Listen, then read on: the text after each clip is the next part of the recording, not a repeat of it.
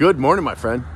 Hey, I keep getting this question. I've been getting this question for the last 13 years on a regular basis, and that is inquiries. Rondi, what about inquiries?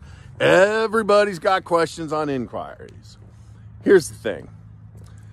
Well, let me back up in case you don't know what an inquiry is. And if you don't know what an inquiry is, you've probably been living under a rock. But an inquiry is what happens when you apply for credit with the creditor. It's called a hard inquiry. That's when your credit report is accessed from the credit bureaus. Soft inquiries when you pull it yourself, like you go to my website, creditmojo.com, and you refresh your credit report. That's a soft inquiry. All right, hard inquiries. They impact approximately 10% of your credit score, which is approximately 55 points, depending on what scorecard you're in. If you're in a high risk scorecard, one inquiry could drop you 55 points. If you're in a low risk scorecard, which you know you're over 740 credit score, one inquiry could have no impact on your credit. 10 inquiries could have no impact on your credit score. 50 inquiries could have no impact on your credit score. It all depends on what scorecard you're in. Scorecards are different ways to weight the score, the FICO score, or grade the information to create the FICO score.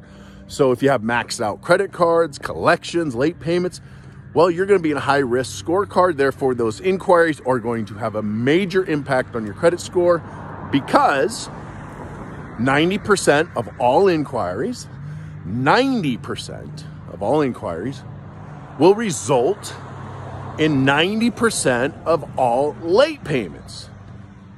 See, 90% of all late payments happen within the first two years of an account being open. So when you have an inquiry, bam, they think you're going to be late over the next two years. So down goes your score depending on what scorecard you're in. And that's why it's so important.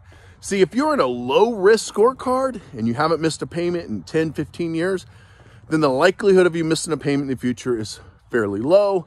Therefore, the inquiry doesn't impact you. But if you miss payments recently, and you have maxed out credit cards, maybe collections, and you don't have a long credit history, you don't haven't had accounts open for a long time, then inquiries are going to impact you in a significant way. So make sure you keep your inquiries low. If you want help or need help with getting those inquiries removed from your credit report, please reach out to me. We do this every day, all day long, every day. It's 25 bucks an inquiry. We'll hook you up. If you got more than 10, it maxes out at 250.